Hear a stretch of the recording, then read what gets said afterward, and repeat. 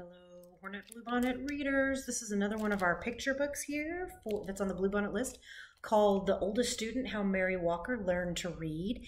And it was written by Rita Lorraine Hubbard and it was illustrated by Oge Mora.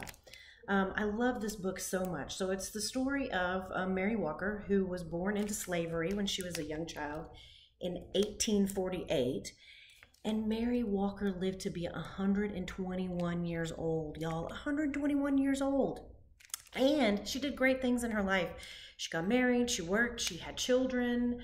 Um, and at age 116, she decided to do something that she had always wanted to do and that was to learn to read because she didn't grow up learning to read. And so at age 116, she decided it was time and she learned how to read. What an inspirational story! How amazing that this woman at 116 decided that she was going to learn how to read. This book is really inspirational. Um, you learn about Mary's life. Um, she was very much um, a faithful woman. One of her prized possessions was her Bible, which she finally learned how to read. Um, and the illustrations in this are just beautiful.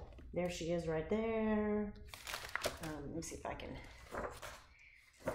Here she is practicing her writing so she can learn how to read.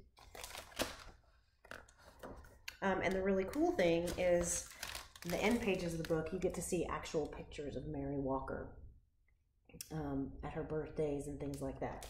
So if you think that your studies are hard, let's just remember that Mary Walker learned to read when she was 116. And so she leaves us with the inspiration that you are never too old to learn. Come and check it out.